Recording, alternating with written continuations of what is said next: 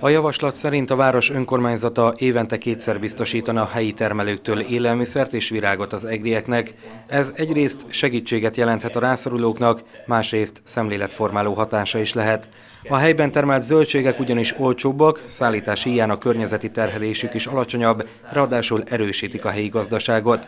Egy gesztusértékű előterjesztésről van szó, fogalmazott Lombecki Gábor önkormányzati képviselő. A rászorulóknak ez segítséget nyújthat, a város többi lakóságának pedig egy gesztusértékű program.